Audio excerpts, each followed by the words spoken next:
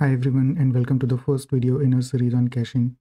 In today's video, we will be discussing the fundamental concepts of caching.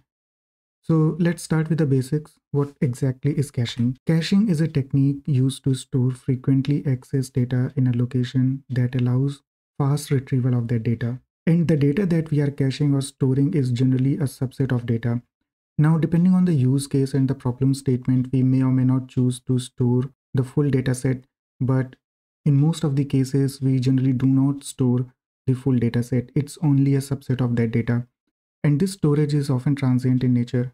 That means the data or the subset of data that we are storing for fast retrieval is not a persistent store or a permanent storage. It's transient, it's a temporary data store. So in short, we can say that caching some data is like a shortcut to the information so that we don't have to go all the way back to the original source every time when we need that data set. Suppose on the left hand side we have a client and this client doesn't have to be a typical client. It could be anything, any entity that needs some data. And on the right hand side we have a source. Again, this could be anything that has that data. So it could be a database, it could be the RAM, it could be the disk. So generally what happens when a client or any entity that needs the data, it identifies the source or the location where the data is available. Then using any mechanism, it could be a request response model or anything it does not matter for this discussion. So in order to get that data, it places a request. It reaches out to the original source that, hey, I need this data. And the source returns the data as a response. And now the client has this data. And let's say the client needs the same data. In that case, it has to perform the same set of actions. That is step number one to ask for the data set and step number two to store or to receive that data from the source. And this is when we don't have the intermediate storage of caching. But now if we introduce the caching between client and source, we can see the same request can be intercepted by the cache. The cache can serve the request. It can return the same dataset that was earlier sent by the source back to the client. So in this case, the caching layer has a subset of data that is primarily owned by the source. And so the client does not have to go back to the source for the same set of data. So to iterate the same things in different words, caching is a technique to temporarily store the frequently accessed data. Let's see why is caching important in modern applications.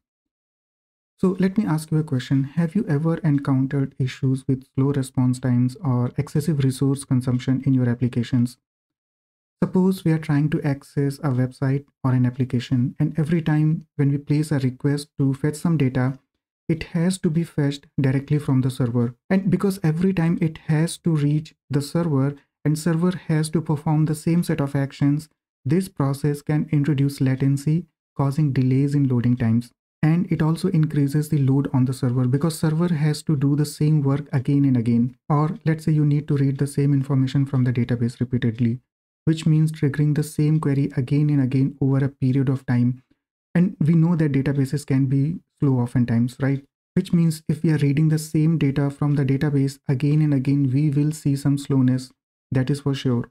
Or let's say the application is doing some costly computations. It could be a factorial of a number or a processing of an image or anything that is resource intensive. So for example, factorial of a number, which is not going to change for a number. But if we have to calculate it every time when a client asks for a factorial of the same number, that means we are doing the same computation again and again. So as you can guess, it's all about the latency and the throughput. It's all about how much can we process and how quickly without delays.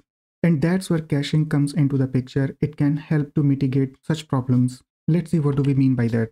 Here in this example, we have the same client and the same source and we don't have the caching. And now client needs some data.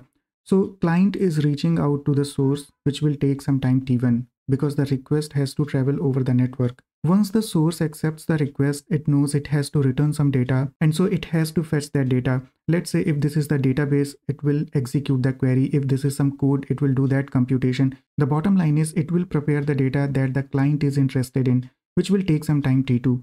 And finally, when the source returns the data, it will take some time t3 while it reaches to the client. So the overall time taken in this process is t1 plus t2 plus t3. And if the client needs the same dataset, everything will be repeated again and it will again take some time t1 plus t2 plus t3. Now let's see how introducing a caching can improve the latency and how it can reduce the time taken.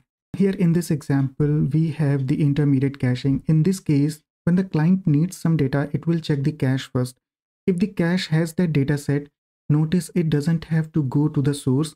That means it will save some time here from client to the source. And on top of that, source does not have to perform the same set of operations in order to prepare the dataset. That means it will save some time here as well.